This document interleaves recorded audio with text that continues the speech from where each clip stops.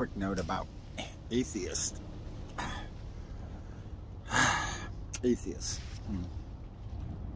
Atheist is a person that confesses or admits that they don't believe in God. And when you do that, you know, it shuts a lot of doors. Really does. Um,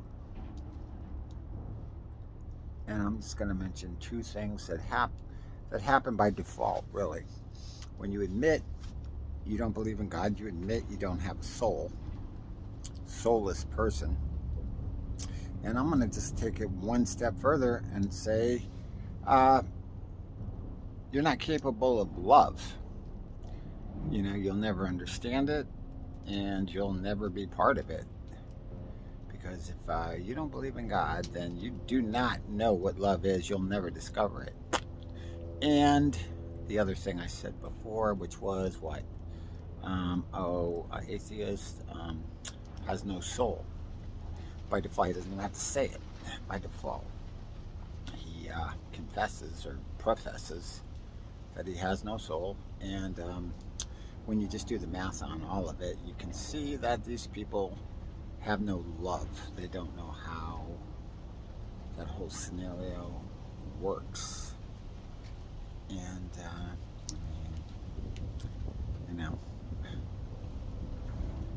I married one. I married an atheist. And I found out later this woman has no soul. She's not being drawn towards God. And uh, has no faith. Times got hard in 2008. She hit the fucking road. Divorce, 14 years. I don't give a fuck. Take my kids. I'm out of here. you know, that house sold for $1.4 million a couple months, a month or so ago. I looked it up online, 735 Whispering Pines Drive, Scotts Valley, California. Look it up, 1.4 million.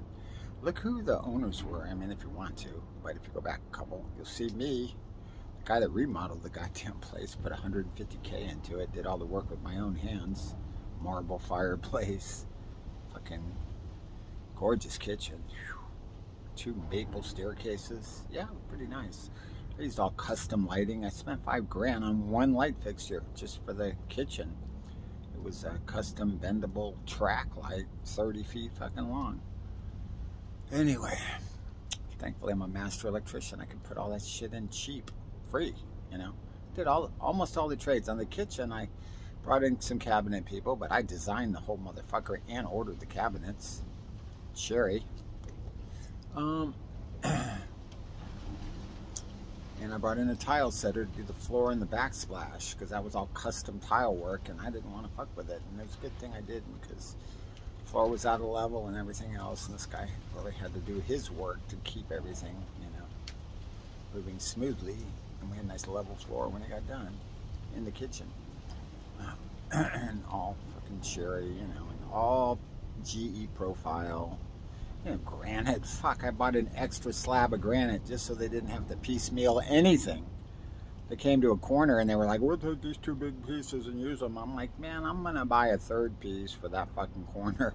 There's going to be no seams in my kitchen.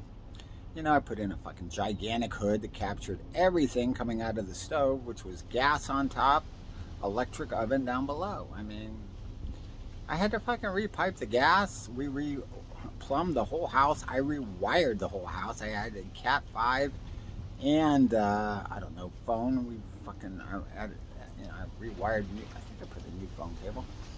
I know I put in new receptacles. We went to all, you know, Decora. yeah, put in all new floors. I mean, I fucking remodeled the whole goddamn house. Upgraded the structural, too, as I went. You know? But anyway, um, I don't even know why I was talking about that. Mainly, I just want to talk about atheists, and they uh, have no capacity for love, so forget about that. They have no soul. And, uh, you know, they just cop out on everything to do with God. It's rough. No Bible, no teaching it to their children. I mean, raised two kids with this woman, and, you know, we didn't teach the Bible. I have my own beliefs anyway, and, you know, I'm, I'm not to fucking drag my kids off the fucking church and stupid shit like that. You know, I've already been myself. Why would I fucking take anybody in there? You know, it's a fucking rigged event. Anyway, even if there's a fucking miracle, it's gonna be rigged. You know, I went to Benny Hinn's church, sat in the back row, and he's in all kinds of crazy, stupid shit. And I finally just was gonna call him out, so I started walking towards the stage, just in the middle of a fucking service. Just gonna find out what once and for all what the fuck's going on with this guy. And um, I got tackled in the fucking. I'm just a guy walking through the church, you know, down the. I was in the service, then I walked down the aisle, got tackled by security, drug out to the fucking hallway, body slammed, then fucking drug out into the parking lot, threw back into my fucking car. They called the cops. People came out. I mean, it was fucking nutty, and I didn't do a goddamn thing to fucking get beat up in a fucking church. And that's Benny fucking Hinn. Yeah, fuck that asshole, man. I'll call that motherfucker out every day of the fucking week on his fucking miracles, man. Anything to take a motherfucker's money, right? These people work hard for their fucking money, and but you know if they're that fucking stupid, if they're that low on the IQ scale, then fuck them. You know, you want to give your fucking money away to some moron from out of the country? Fucking what? What am I supposed to do? What am I supposed to say? You know, grow an IQ. People don't want to grow IQ. They want to believe their own stupid shit. You know, they really don't. They don't want to fucking know the truth. Don't fuck. Who would? You know, when you start figuring that shit out, you don't want to fucking have any part of it, really. You know, I can see how people get fucking in. Um, anyway, you know, you know how Americans are. Lazy, stupid, and spoiled. Fuck, man, we'll go to the grocery store, get some fucking frozen pizzas, and fucking take them home and cook them, and you know, watch TV while we're fucking around on the internet. You know, watching porn and everything else. Fucking wife sitting on the goddamn couch next to us. You know. anyway, my wife used to sit there and fucking flirt with guys all goddamn night while I was watching movies on a $70,000 fucking sound system. She fucking hated it. She cursed it, you know? Her fucking everybody that came into the house loved it, but my mom, my fucking wife hated the fact that I spent that kind of money. Got it all back. Anyway, gotta go.